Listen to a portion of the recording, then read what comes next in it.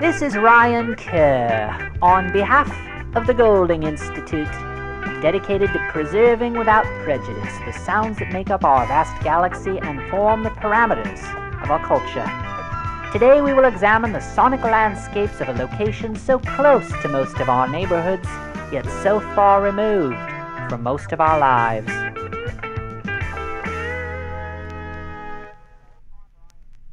Hello, I'm Ryan Kerr, and we're speaking, of course, of the adult bookstore. It will be my distinct pleasure today to accompany you on this tour of triple X rated adult bookstores. For reasons of morality or fear, the adult bookstore is a world that some dare not venture into. But now you can experience the erotic environment of these veritable palaces of sin and despair. I know I'm ready to begin this assignment, so let's loosen our belts and go on in.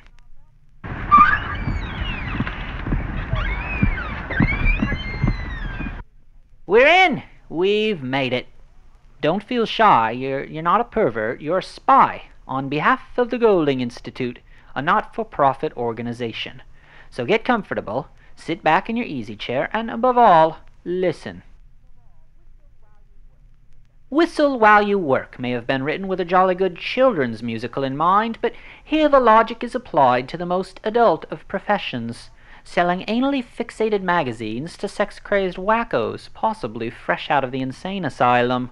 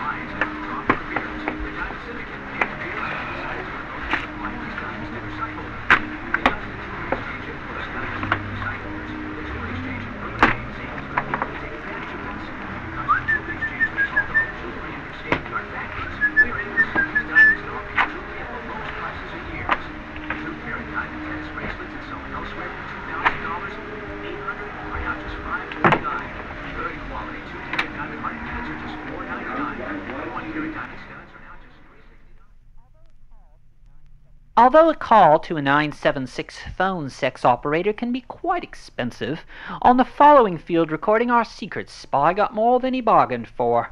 The cashier at this adult bookstore was not only female, but she was on the telephone, baring her soul, and possibly more.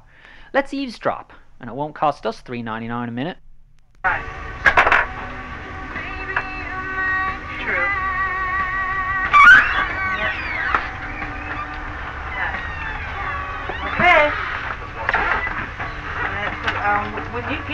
Get here, I'll be gone. Yeah. Huh? Um, Julie and Henry.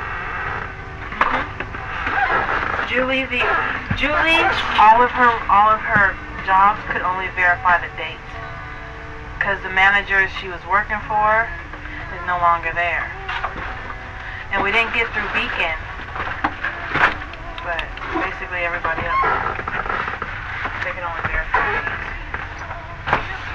Man, don't tell me. Oh, okay.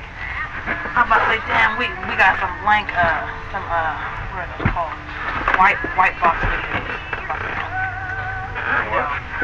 I got a box of PVCs, two boxes.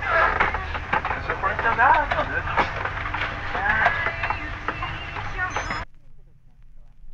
Listening to this next selection with its pounding hammers, it's easy to imagine you've stumbled upon a typical construction site. Wrong again, chum.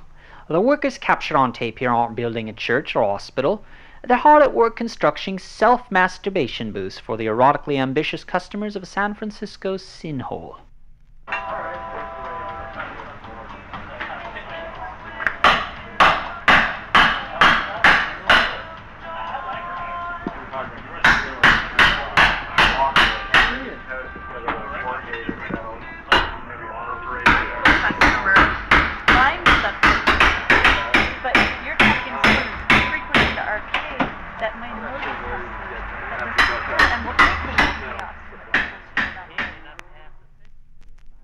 Now here's a true insider's perspective into the world of the adult bookstore. The secret, sensual, behind the scenes dealings of the people who make their living in this most unorthodox fashion. Yeah, I yeah. can hear like soon. Okay, I'll tell you. I have so I have like this is this is the problem is that I have agendas for like the next two weeks. I am packed full already as it is. I'm three days behind. Worry about that. I was sick one day. Dramas are happening. Whatever. I'm three days behind, and now I. I was sick and just the kind of other stuff that you interruptions, customers, this, that, whatever. You know, things that I have to. make it look healthy. No, no, not big drama. No. I mean, it, you know, it's ha- I can handle it, but I'm already Not behind much to worry about over here right now. I'll do a little, I'll go through because I can already look because we need to get rid of half of these straight titles. That's like That number would be so one. We can transfer a lot of them over to uh, Frenchy's. I can see, so I can see a lot of titles. I that we think can they get can. over there. Then I think we can take a reorder sheet, go through some of the stuff, before I got and um, Yeah.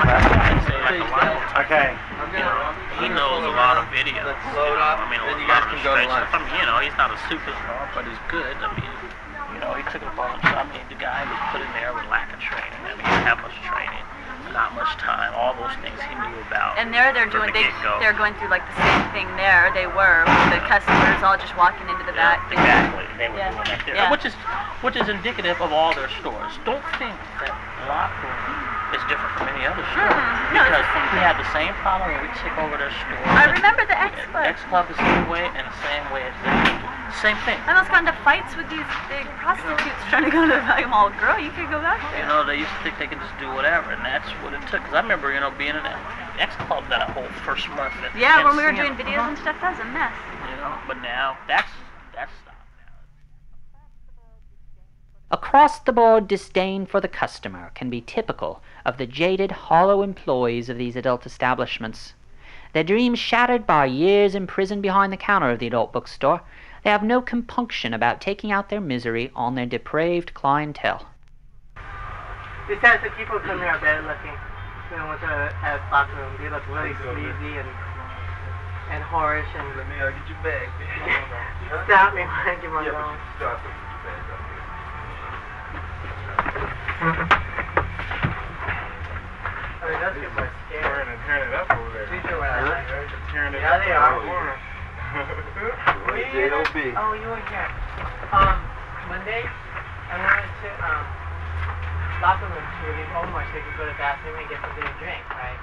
I'm just there sitting there, right? I'm not doing nothing. Right? I go, oh, excuse me, sir, you need to get two dollars. And he started yelling and screaming at me like, fucking two dollars. I already paid my fucking two dollars. Da da da. And then his friend was there. I said, What did you do? I said, go right ahead. I ain't gonna put up a fight. It ain't worth it. Gary, look, between you and me, who do you think they're more afraid of? Ain't me. It ain't me they're afraid of. They're afraid of you more.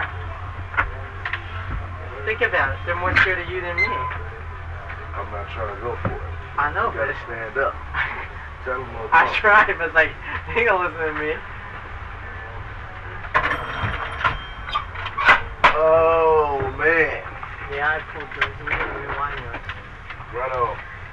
I'll What take you gonna charge why, me? why, why would No, I can't charge you. I didn't charge you. I didn't charge you, Brad. You to charge me? Yeah, I'm gonna charge you Six too. oh seven. These ones be good. Here, man. Six oh seven. One, two, three, four. I get it.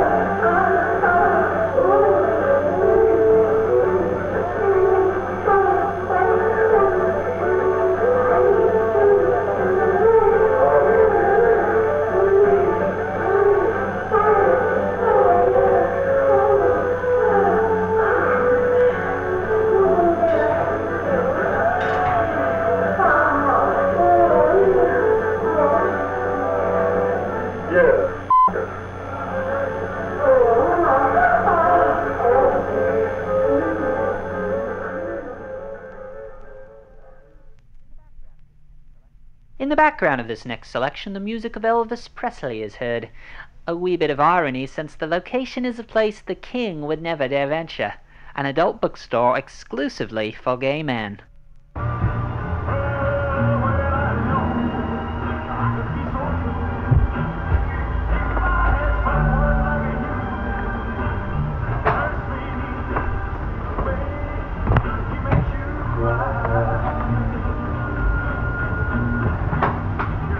So who's Elvis? Mine. Who's Elvis? Mine.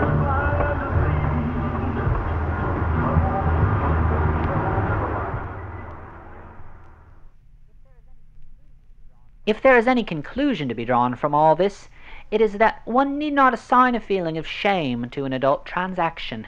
Listen to the calm, mature, even friendly interaction between the patrons of this next adult establishment. Bar, if the bar. I don't go to bars here. I don't go to bars here. I hate bars. go to bars there? And all they do is play hillbilly music and smoke. and more sites and restaurants with people blowing smoke over my food.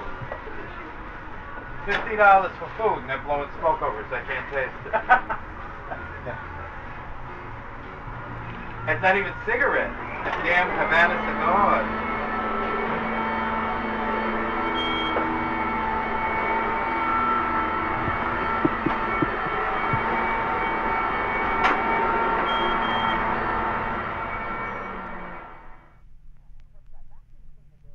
And what's that vacuum cleaner doing?